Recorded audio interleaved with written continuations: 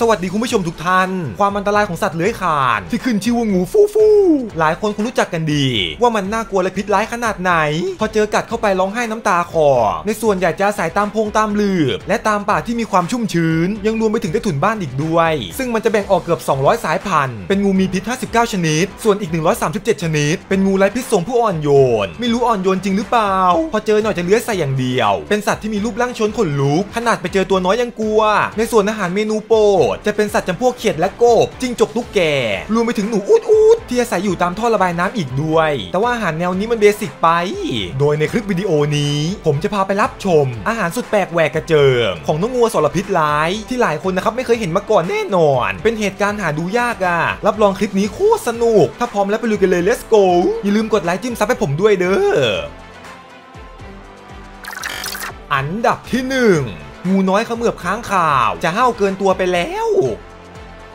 เป็นสิ่งที่ไม่อยากจะเชื่อ ว่าสัตว์สองสายพันธุ์นี้จะมาเจอกันได้ งูเป็นสัตว์เลื้อยคลานบนดิน ส่วนค้างคาวโผบินสง่างาม เป็นสัตว์ที่มีฉายา ว่าใช้หูมองเห็นแทนตาไปเลย มันถือกำเนิดบนโลก เมื่อราว50 ล้านปีก่อนนู่นน่ะ มันจะออกหากินในยามดึกดื่น และเข้านอนในยามฟ้าสาง เป็นสัตว์สังคมที่ชอบเกาะกลุ่ม จะชอบลักกินผลไม้ชาวไร่ และการเคลื่อนไหวของมันจะคล่องแคล่วและว่องไวมากโฉบเฉี่ยวยิ่งกว่านกซะอีก ฟุ๊บฟุ๊บฟุ๊บฟุ๊บหือสุดยอด ขนาดลำตัวส่วนใหญ่ จะยาวประมาณ 1 ฟุต หนัก 200ถึง300 กรัม ตัวใหญ่สุดที่เคยพบเจอ หนักกิโลครึ่งอะ พอฟังมาขนาดนี้แล้ว ผมเองก็ไม่อยากจะเชื่อเลย ว่ามันถูกงูจับมากินได้ ไปทำมิท่าไหนวะเนี่ย งูไปฉกมาได้ไง เจออีกทีก็ถูกรัดเรียบร้อย โดยมันใช้ลำตัว ที่มีขนาดยาวและแข็งแกร่งรัดค้างคาวซะเกือบขาดใจ ตัวหดหมดแรงต่อสู้ ดูเหมือนจะไม่มีทางรอด ขนาดงูไซส์เล็กกันเนี่ย พลังมันจะมหาศาลจริง แต่ว่าในระหว่างนั้นเอง จู่ๆก็มีกองทัพมดที่ยกขยงเข้ามาแจมใครแพ้น่าจะขอกินด้วย มดแดงไฟตัวเล็กแค่นี้ กัดเจ็บเจียนตายเลยเด้อขอบอกสรุปศึกแย่งชิงอาหารค้างคาวก็ตกเป็นเหยื่อ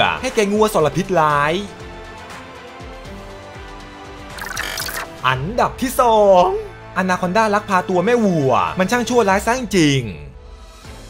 วัวเป็นสัตว์เลี้ยงขนาดใหญ่ที่หลายคนรู้จักกันดี มันมีสี่ขากับเขาอีกหนึ่งคู่ เป็นสัตว์เลี้ยงลูกด้วยนม มีหลายสายพันธุ์กระจายไปทั่วโลก จะถูกเลี้ยงเพื่อไว้เอาเนื้อ รวมไปถึงไว้รีดนมสำหรับบริโภคอีกด้วย ประโยชน์เยอะจริงแม่วัว ในส่วนเรื่องขนาดความใหญ่โต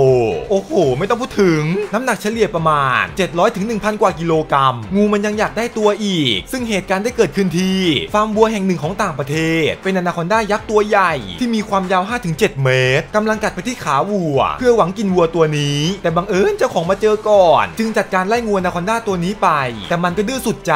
เล่นตากัดไม่ยอมปล่อยเลย สังเกตจังหวะที่วัววิ่งหนีดูสิเหมือนมันจะกินให้ได้อะถ้าเกิดเจ้าของไม่เจอก่อนนะ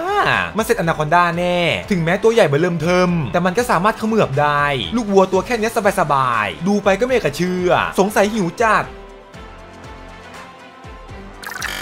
อันดับที่ 3 งูเขมือบหอยทากผู้น่ารักไม่น่าเลย เหยื่อตัวน้อยในอันดับนี้ที่มีชื่อเรียกว่าหอยทากเป็นสัตว์ไร้กระดูกสันหลัง ที่มีฉายาว่าช้ายิ่งกว่าเต่า กว่าจะเคลื่อนที่แต่ละก้าวลุ้นใจแทบขาด เป็นสัตว์ที่มีชีวิตมาแสนยาวนานราวๆกลางยุคคาร์บอนิฟอรัสหรือประมาณเกือบ 400 ล้านปีก่อนนู่นเลยย มันมีมากกว่า 500 ชนิด เนื้อตัวจะค่อนข้างนิ่ม มีเมือกไหลตามตูด ตอนเด็กก็ชอบจับมาเล่น ด้านบนจะเป็นฝาหอยที่มีความแข็งแรงเอาเรื่อง แต่ถึงอย่างไรก็ตามทีเถองูก็สามารถกินได้อยู่ดี ตัวแค่นี้กลืนสบายมาก พองูมาเจอเหยื่อปั๊บมันก็สังเกตดูสักพักหนึ่งพอพร้อมแล้วนับ 3 2 1 งับเข้าไปหอยทากไม่รอด ตัวเล็กเดินช้าขนาดนี้ มันจะไปรอดได้ไง มันใช้เวลาเกือบ 10 นาที ในการเขมือบหอยทากตัวนี้ และถ้าเราสังเกตดู เหมือนว่างูมันจะรู้ซะด้วย ว่าส่วนไหนควรกินไม่ควรกิน มันพยายามดูดเนื้อในเปลือกหอย ส่วนเปลือกที่แข็งอะทิ้งไว้ ฉลาดเหมือนกันนะเนี่ยอันดับที่ 4 งูกินหางตัวเอง สงสัยบ้าไปแล้ว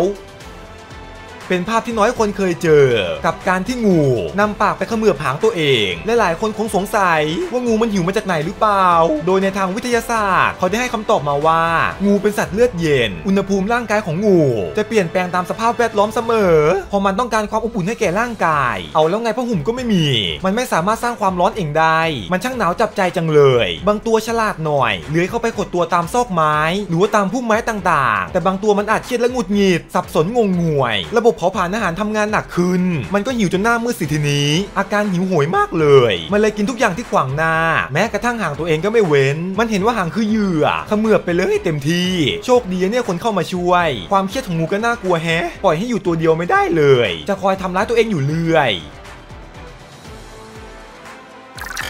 อันดับที่ 5 งูขมือบตะขาบยักษ์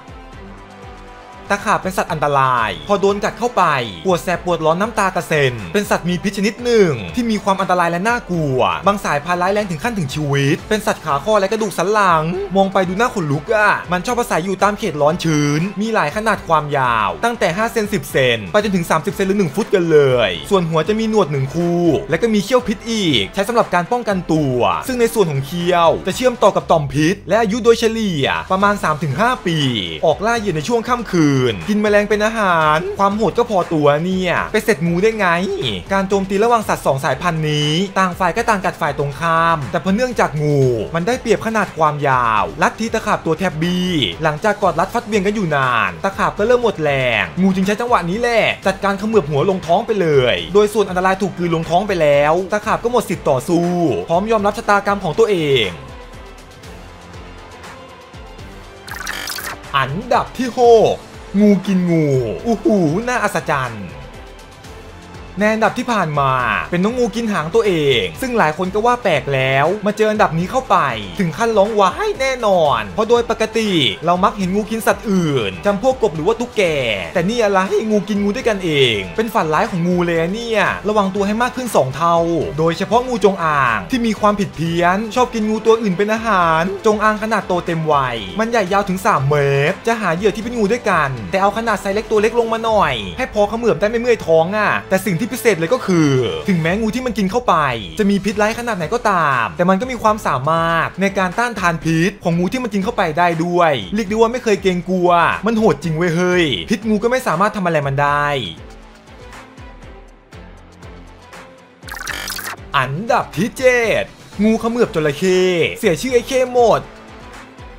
เป็นที่ทราบกันดี ว่าเจ้าจระเข้มันโหดเพียงใด มันมีขากรรไกรที่ทรงพลัง และอาจได้กว้างมากๆ เป็นสัตว์ที่อยู่ด้านบน ของห่วงโซ่อาหารเลยก็ว่าได้ นักล่าอันดับต้นๆน่ะ มันจะใส่เป็นฝูงขนาดใหญ่ แต่กระจายไปทั่วแหล่งน้ำส่วนใหญ่ชอบล่าป่ารวมไปถึงสัตว์บกขนาดใหญ่ด้วย พวกม้าลายกวางหืมประจำโดยเฉพาะเวลาที่มันอพยพข้ามแม่น้ำและดูยังไงยังไง มันก็ไม่น่าแพ้งูเลยเนาะเพราะด้วยขนาดลำตัว ที่ดูใหญ่บึกบึนดูน่าเกรงขาม ขนาดความยาวเฉลี่ย 3-6 เมตร แถมฟันก็คมมากด้วย ดันไปพลาดเสียหลักให้งูเฉย โดยการโจมตีของงูในอันดับนี้ กินเวลาไปเกือบ 5 ชั่วโมง ในการต่อสู้กันน่ะซึ่งเป็นงูขนาดใหญ่ที่มีความยาวเกือบ 10 ฟุต ในระหว่างการต่อสู้ยังดูเดือด ฟัดกันไปกันมา เพื่อจะเอาชีวิตรอด แต่ว่าจระเข้ก็สู้ไม่ไหว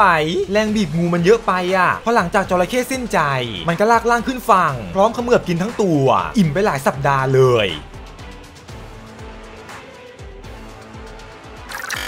อันดับที่ 8 งูขย้อนเหยื่อ สงสัยจะไม่อร่อย ในอันดับก่อนหน้านี้ เป็นงูกินเหยื่อที่แปลกประหลาด มาอันดับนี้ขอเปลี่ยนแนวหน่อย ซึ่งเป็นการคายเหยื่อออกมา ทั้งๆทที่กินเข้าไปทั้งตัวแล้ว สงสัยรสชาติไม่ถูกปากจึงคายออกมาซะเลย เสียของหมด แถมบาปเพิ่มอีกด้วยฆ่าสัตว์แล้วไม่กินน่ะ อันนี้ขำๆไปเด้อโดยในความเป็นจริง หลังจากที่งูเขมือบกินเหยื่อลงท้องไปแล้ว ท้องมันจะป่องเป็นอย่างมากเลย ขยับเคลื่อนที่อุ้ยอายช้าเป็นเตา ก็มันหนักแต่ทำไงได้ ซึ่งงูส่วนใหญ่จะใช้เวลาประมาณ 7 วัน ในการย่อยเหยื่อในกระเพาะสังเกตฟิล์มเอ็กซเรย์ดูสในนั้นคือร่างจระเข้อะน่าผ่านไป 7 วันไม่เหลือซากกระเพาะคืนสู่ภาวะปกติ โอ้โหโคตรสุดยอด แต่เหตุการณ์ที่งูขย้อนเหยื่อออกมา คือมันจะรู้ตัวเองว่าตกอยู่ในพื้นที่อันตราย อย่างเช่นมีสัตว์นักล่าคอยจ้องมันอยู่ ถ้าท้องป่องเลื้อยหนีไม่ได้เนี่ยใคายเหยื่อออกมาก่อนแล้วกัน ตอนนี้เอาชีวิตรอดก่อน นี่แหละคือสาเหตุที่แท้จริง ไม่ใช่อาหารไม่อร่อย ผมเองก็ภาคเวอร์ไปเรามาต่อกันด้วยอันดับที่ 9 กันเลย งูเขมือบเสือดำทั้งตัว เสือดำเป็นสัตว์ป่ากินเนื้อ ที่มีความโหดพอตัว จะมีลวดลายเป็นสีดำบ่งบอกถึงความน่าเกรงขาม ใครเข้ามาหยามนะเจอดี เวลามองเข้าไปในป่า จะสังเกตเห็นตัวมันค่อนข้างยาก ดูดำกลมกลืนไปหมดอะเสือดำจะมีลวดลายคล้ายเสือดาว เพียงแต่มองเห็นได้ยาก ต้องมีแสงไฟไปตกกระทบ แยกแยะลำบากหน่อยอะมันเคลื่อนที่คล่องแคล่วว่องไวปีนป่ายต้นไม้ไวเหมือนลิง นิสัยดุร้ายรักสันโดษขนาดตัวก็ใหญ่เอาเรื่องลำตัวยาวประมาณ 120 เซนงูเห็นก็ไม่น่ากล้าไปกินนะเนี่ยแต่ว่าในอันดับนี้มันดันตกเป็นอาหารของงู เป็นงูขนาดใหญ่ ที่รัดตัวมันจนสิ้นใจ ไม่สามารถขยับหรือว่าต่อสู้ได้ สุดท้ายก็ถูกงูกลืนไปทั้งตัว